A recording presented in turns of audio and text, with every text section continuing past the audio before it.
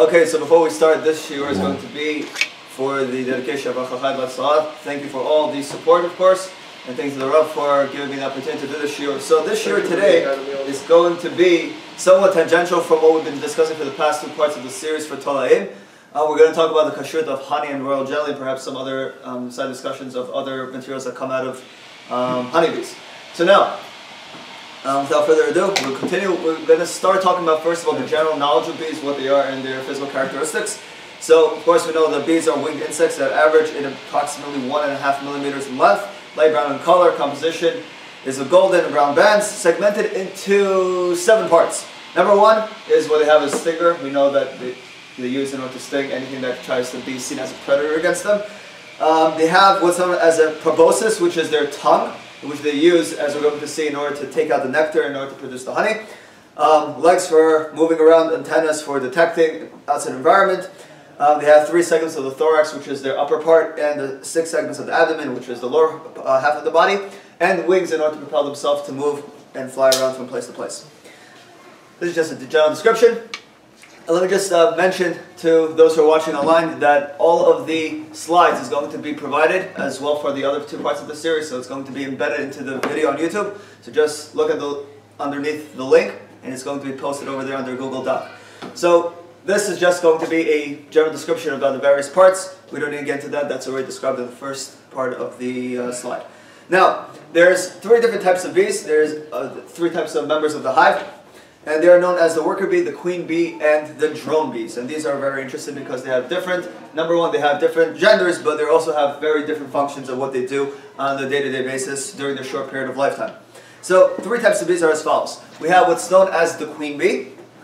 The queen bee, she is essentially the queen of the entire hive, and her whole job, her sole duty, is to lay eggs and produce all other female population of the worker bees. All she does is essentially she's taken care of. All she needs to do is to lay eggs, and those lay eggs that are laid are going to produce an all-female colony, what, what is known as the worker bees. Now, the worker bees, as you can imagine, are their job is to work the hive in order to provide sustenance for the queen, and also eventually to build the honeycomb, and as well go outside as when they get old enough to go and take the nectar in order to produce to produce honey. Now, when I say their lifespan, you have to understand that the vast majority of these, the their average lifespan is 51 days. Okay, 51 days. Um, that's talking about if they're working throughout like the periods of like the summer, summer and um, and spring months. However, if they actually survive and they actually go through points in the winter, they tend to live up to six months. And the reason that's that's different is because during the, pe the period of time in which they actually go outside, they're subject to many elements. They're subject to pesticides. They're subject to being like swatted or killed and uh, swallowed by other types of animals. Therefore, for the worker bees, they usually have a much shorter uh, lifespan. Now, the last population is the drone bees. Drone bees, um, what's shown on the right side. So it's an all-male population. Where do they come from? Because we said the queen bees lay the worker bees, so where did they come from? So the drone bees, they're laid by the worker bees. Okay, so queen lay for the worker, the workers they, they lay for the drones. And the drones, they're an all-male population whose sole purpose is to mate with the queen bee or any other potential queen bee in another hive and to produce more worker bees. So it's an endless cycle. Basically, the queen bee makes worker bees, worker bees main drone bees, drone bees mate with the queen bees to make more worker bees, and drone bees, and so on and so forth. It's an endless cycle, which is why I've been having bees for time immemorial, essentially. Now, what I just want to show you is if you actually look at the morphology of these three types of insects, you see that the queen bee, by and large, is much larger than the others. Um, we're going to see that she also lives much, much longer than the other bees, and approximately 50 times longer. Right, so first of all, you see it's larger. Um, morphologically speaking, they have the ability to reproduce, um, sexual re reproduction, as opposed to the drone bees, which are not capable of doing that. They just lay eggs, but they cannot reproduce sexually. It's all asexual reproduction. Okay, now, so why this becomes important is because in order to describe whether honey and any other byproduct of bee is kosher, we have to understand that there's a Gemara in Bechorot Daf Hey Aleph, which elaborates on the famous principle that states the following. Um, and. Basically, essentially meaning that anything which leaves a tameh animal any byproduct of it. So before we continue, just as a quick uh, mentioning, so please join us in the Yeshiva. We're here from Sunday to Thursday evenings at 8 to 10 p.m. Monday through Thursday mornings from 9.30 to 1. Our website is yeshivaetzion.com. Please subscribe for all the on Instagram and YouTube and all other social media. And please donate, and PayPal is also provided on the website. Thank you for the sponsorship and dedication. Now, going back to the Gemara. Gemara tells us again, anything that leaves from a tameh animal, any byproduct of a tameh animal, would have the status of tameh animal, and therefore it would be forbidden for consumption. Anything that comes from a tahor animal, a kosher animal, would be tahor as well, because it has the status. So the Gemara brings a number of examples of how this would apply. Let's say you have a cow. We know cows are kosher, right? Generally cows are kosher, true? Yes. Yeah. Okay, so now if a cow gives birth to an animal that looks, looks like, like, a donkey, donkey it looks like a donkey. So now I look at this donkey and I'm like, wait a second, the mother was a cow, it's nursing from the cow, so I should assume that the mother is a cow and the cow is tahor. But is this animal that comes out of it, which looks like a donkey, is that forbidden or is it not? So the Gemara says, even if it looks like a donkey and it sounds like a donkey and looks like a donkey, it's not always a donkey. This thing is actually a cow, but just doesn't seem to be so for whatever reason it may be, I have no idea, but that, if that's the case, nonetheless the principle tells us that anything that left from a tahor animal is tahor, therefore this animal is tahor. Vice versa, if you have a donkey which gave birth to an animal that looks like a calf, right? It sounds like a calf, moves like a calf, it looks like a calf. Nonetheless, the Gemara says even if that's the case, it's tamid like the like the um, donkey itself, and therefore that would be forbidden. Another example the Gemara gives, it talks about the milk of kosher animals versus non-kosher animals. Right? So now Kosher animals, they produce milk, would be kosher as well. Um, of course, there would be certain instances in which it would not be kosher. For instance, if the animal is found to be a trefa, in which case anything that comes out of that would be would be prohibited. Now, vice versa, anything that comes out of a non-kosher animal. So if you have donkey milk or pig milk or things of that nature, um, the uh, byproducts and anything else that comes out of it would be forbidden as well, and that would be an Isur Doraita. It's not Isur it is an Isur Doraita to consume. It. Now, what is the chemistry of honey? How does honey made and whether it applies to the din of Hayatsemina Tameh Tameh? So now, the way bees make honey, there's a lot of diagram and chemicals that I've discussed over here. We're not going to talk about glucose and fructose and all those things. But just to describe, what, what's going on is as follows. The worker bees, which we said is the all-female population, they go outside of the hive and they go into the flowers and they take the nectar from the flower. And basically, once it's inside of the bees, the, the saliva of the bees, they have enzymes in which it digests the nectar and it breaks it down from what's known as sucrose, which is what's called a disaccharide, meaning it's a large sugar molecule. It breaks it down into smaller um, sugar molecules. And this process is repeated a number of times Basically what happens is, as the nectar is being broken down, the worker bees, they go to back to the hive and they spit out that digested whatever nectar and they bring it back into the mouth of another worker bee which digests it further which brings it back to another worker bee which digests it further. And this pro uh, process could happen a number of times. Um, and eventually it's digested sufficient enough for it to be completely regurgitated put into the hive which is going to be stored for a long period of time so what's clear to realize is that the um, production of honey is not a secretion of the bee. It's not a secretion. It's a digestive process through the nectar, which eventually becomes honey. But it's not a secretion, so therefore it's not a derivative of the bee itself. It's just a byproduct through a digestive process which happens through the nectar, which is outside of the bee. Okay? Bee vomit. All right, so essentially it's bee vomit. Okay? So it's delicious bee, bee vomit, it's very sweet bee vomit, but it is bee vomit nonetheless. Okay. Now, so the kashrut of honey. The Gemara tells us in Bechorot uh, on Daf Zayin Amabet, which is only two dapim after the first incident, talks about talks about very sponsored by Geffen. So it states that honey is kosher, but the reason for it being so is subject to machok tanin. There's two reasons, and the two reasons is going to be subject to very interesting um, nafkamina that we're going to see at the end of this, at the end of these slides. The Tanna Kamma tells us that the reason that it's kosher is because honey is not a byproduct of the bee, rather it is the bee vomit, essentially. And it doesn't use those words, but that's what it would end up being. Um, that is the first opinion. However, Rabbi Akiva argues and says that no, really, the, the status of honey should have the status of any other secretion, and therefore it should be forbidden as well. And the only reason the Torah actually permits it is because there's a Gzerat HaKatuv, which says, Achad Zelo Tokelu, because Sheretz Hasheretz Ha'of. So basically the Pasuk says over there that the Torah only for, forbade Um, the sheretz ha'of, basically meaning any flying insect, but the secretion of a bee would not be under that category, and it's only dafka, the honey, that's, that's permitted, anything else would be forbidden. We're going to see what exactly is the nafka between these two of these and, and how this uh, plays. One of them I'm going to mention right now, um, between these approaches would be whether the honey of other insects would be permitted. For instance, wasp honey and ant honey, apparently that is also produced. According to the Tanna Kamma, which says that since honey is made out of a non-secretion, therefore any type of honey would be permitted from other insects. According to Rabbi Akiva, since the, there's Gzerat Katuv which only permits bee honey, it would be dafka bee honey and not any other honey. So we're going to see how this is a Pascha in the Shulchan Aruch and some mafarshim on how they go about that uh, towards the end. As such, bee honey, according to all opinions, is kosher, according to all opinions, and is codified in Shulchan Aruch in Yoreh De'ah, Pe'alf, Halacha, Chet. See over there. Now, insects found in honey. If in a situation where insects are found in honey, which is very common, considering the fact that you can find ants that are there inside of there, or you can have the bee legs that are got trapped inside of it. That's from yesterday. Yeah, that picture was from yesterday. Right, so I figured it was very appropriate to bring it back. Right. So now, um, there's a halacha that's brought down in Pedad and Yud Gimel, which says the following: Dvash and aflu bonim If you have honey in which there was fallen ants inside, so then Malan says that a person is allowed to heat it up to the extent in which it's going to disintegrate and dissolve inside of there, and afterwards a person can filter out whatever remains. So now, we spoke about yesterday this whole concept of a person is not allowed to be mevatel issur right? So when he hits up the, the thing, the, the honey, it becomes liquid.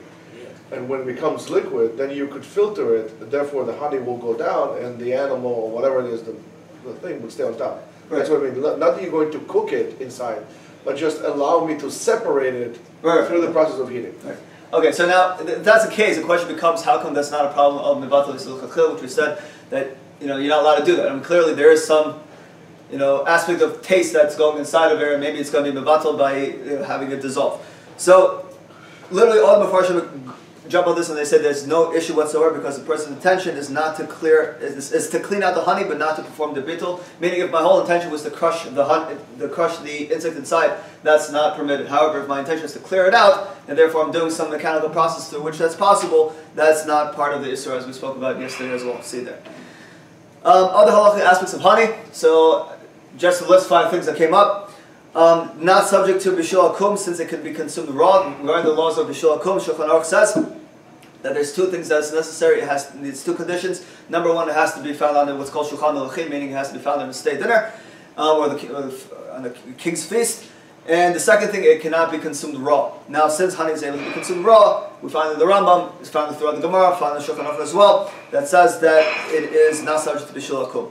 Number two, it is one of the seven liquids which are called the Machshirei Ochlim, which basically means the Gemara in, I'm sorry, the Mishnah in Machshirin tells us that there are seven liquids in which, when it comes into contact with food, it makes the food susceptible to Tumah. Prior to which, if there is no contact, the food can never be Makabal Tumah in any uh, scenario. So now, one of the seven liquids is Dvash, now, Dvash, the Mishnah says that, and through all the commentaries of Mishnah, it's not referring to date honey. In this case, it's referring to bee honey. So, if a person were to dip something into the honey, you know, therefore it would be like makshir for, for tumah, a person would have to wash his hands beforehand before he actually consumes it. Um, number three is brought, brought down in the Orach Chayim. It says that B'char of honey is shehakol. Um, some one question: Why is that the case? I mean, if honey comes from nectar and nectar comes from the ground, because right, from the flowers, shouldn't it be hadam? Clearly that should not be the case because it has obviously a very different look to what it no longer has the form of the nectar, but rather it comes as a dis dissolved part, you know, from the saliva. It has a different status, therefore it has, is bracha shakol. It's not say giduli karka, and the bracha for it would be borei nefashot. Many Jews, especially of Ashkenazic origin, have the custom of dipping, dipping um, apple in honey during Rosh Hashanah as a symbol of having a sweet year. And that's brought by, down by the Ramah in Halchot Rosh Hashanah. And finally, some honey is adulterated with corn syrup, and would pose an issue for those who do not consume kitniyot during Passover. So, that being the case, a Pesach Hechsher would be required in such a case. This would not pose an issue throughout the year because there's no other um, issues that come along for kitniyot during the year. Um, regarding having a company which has 100% honey, which we know is unadulterated with any other types of flavors, actually would not be required because this is clearly a kosher product. Now, as a side discussion, we're going to talk about what royal jelly is. It's actually something interesting because that's became a very popular thing, especially amongst uh, recent years. Cause of royal jelly. What royal jelly is? Royal jelly is a glandular secretion. Again, that's I'm bolding this. I, I, I should probably like put it as caps because this is going to be a clear the distinction between what honey is and royal jelly. Royal jelly is basically a secretion that comes from the upper mouth, right, of the, uh, the upper part of the mouth of the of the bee, um, from the worker bees, and when the, whatever they secrete, its purpose is to use as a, it's a nutritious, thick, milky substance used to provide nourishment for the queen bee, and all developing larvae for the first three days of their life. The reason it's called royal jelly is because it's only the queen that has it. So we saw that the queen bee, right, it was much larger and lived much longer than the rest of the bees. It's not only because of the fact that it stays inside of the hive, right, but because since it has royal jelly, that royal jelly provides it with a lot of more, much more nourishment and allows the queen bee to live for up to seven years as opposed to only 50 days for the other worker and drone bees. Seven years. That's a very long time. And it's assumed to be because of the royal jelly that's consumed. Um, another thing that's capable of doing is it changes completely the morphology of the queen bee, which makes it susceptible to laying up to 2,000 eggs per day. Yes, 2,000 eggs per day. I saw a server that said 12,000. Um, that seemed to be maybe perhaps a type of shouldn't say, you should, should not have said that's only 2,000. Um, now, so now some have claimed that because it has numerous benefits for the queen bee, perhaps it has many benefits as well for human beings, and therefore it became a big thing for people to assume that it should have also many health benefits, curing or treating at least type 2 diabetes, use it as anti-inflammatories. The list goes on and on, um, having like health benefits for people dieting, burning fats and things of the sort. Uh, there's many fertility. People use it for, for fertility. There's many things that go on. Um, I tried to read a number of articles on this on PubMed regarding this. Um, it says there's pretty much there's not enough um, data that could actually support such claims. Um, so before anything could be said conclusively, more research is needed before such statements. But that, that's not really the point of our discussion today. This is side comment. Um, now, kosher royal jelly. As noted above, anything which lives in non-kosher animal is non-kosher as well. It's not above as well, these, uh, there are two conflicting reasons that the Gemara allows honey to, to, be consumed. The first conflicting reason we said was according to the Tanakama was that honey is not a secretion. If honey was a secretion, it would be usr. Okay, if it was a secretion, it would be usr. According to the second reason, the Torah permits anything that comes out of a honey. Okay, so now nafkamina would be, according to the first reason, royal jelly would not be permitted because it is a secretion. According to the second reason, anything that is a secretion would be permitted, and therefore royal jelly should be should be allowed. Now, uh, halacha debate. So this is obviously subject to contemporary machlok poskim. There are those who permit the royal jelly, right? That would be based on the second reason, and it's and they would permit it. It's it's not that they permit it all across the board. Some are more makel than others, but most of them agree that it's only in situations where where it's a, like a health necessity, as we said. That there are those who actually believe that's a health benefit. So. Um, those who allow is the Tzitz Eliezer, Rav Moshe Sternbuch, and Teshuvot V'Hanhagot, and also the Yalkut Yosef, quoting Harav Ovadia, says that it is permitted at the very least, or perhaps even very most, when there's a situation for any medical need, however minor. It goes to the extent that even if a person has like a feels a little weak, person if, if there is some conclusiveness about the fact that it, it's a considered health benefit, they would allow the help the this royal jelly. Those who forbid it take the latter approach and say no, it's only things that are not secretions are permitted, but only you know things like honey, which is not a secretion, that is permitted. So um, the Minchas Shlomo famously quotes this idea that you know if the, the, the Torah did not permit anything besides honey because it's not a secretion. So since royal jelly comes from the body of the bee itself, that would be uh, uh forbidden. And Daf Kuf says that this is considered a problematic problem as well. Halakha consensus amongst all Hashgachot is to be stringent and forbid its consumption. They do not allow it, and they don't give Hashgacha for this whatsoever. Um, there is an interesting thing that's brought down in the Shulchan Aruch, and this is this is where it gets a little fascinating. The, the, we spoke about um, this this idea whether the honey of other insects are permitted, right? From honey from wasps, and whether it has the same status of honey for bees. So now, what is it based on? It's based on what we said earlier. Let me see if I can find that machloket over here. The reason that honey for bees is, is permitted. So now, according to the first reason, okay, we said that the reason that honey um, the honey from, from bees is permitted because it's considered to be a non-byproduct, okay? So now, if it's not a byproduct of the bee, but rather it's, it's just comes from the nectar, therefore any other type of thing would be permitted as well. So that would basically mean that the, um, that the consumption of honey from wasps is permitted as well. Now, the honey from wasps is permitted as well. Therefore, what would that mean for the royal jelly? Seemingly, it's only because it's not a secretion that it's permitted, right? So therefore, if it's true that the honey of wasps is permitted, therefore it would not be true that the royal jelly is permitted. However, conversely, if it's not true, or if it's true that the honey of wasps is forbidden, therefore royal jelly would be permitted because it would be based on the second reason, which is that anything comes from the bee is permitted. If you look at the Shulchan Aruch, he actually says, Stam halacha, that the honey of wasps is permitted, yesh osrim, and there are those who forbid it. The Ramah says it's forbidden completely.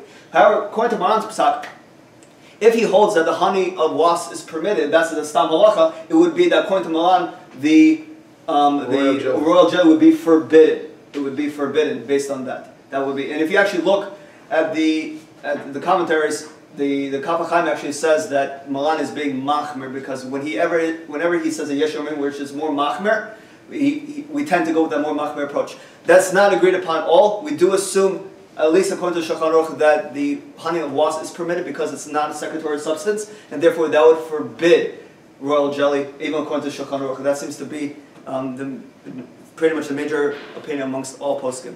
And essentially, this talks about royal jelly and, um, and honey, but when it comes to like, things like beeswax and like, um, like the venom that apparently is also considered um, to be somewhat of an anti-inflammatory uh, property. Propolis. Right, propolis as well. So now, Beeswax, according to all, is permitted because it's not even considered to be a food. It has like no taste. It's not considered a food substance. Therefore, it would be considered like kosher, but not be non-kosher. Um, most other derivatives of the bee itself would be considered fine as well because of the fact that it's not considered to be food substance. When it comes to venom, however, there is somewhat of a debate. Some say it's permitted, some say it's forbidden because it's considered a complete secretion. And with this, we finish it. We'll continue tomorrow.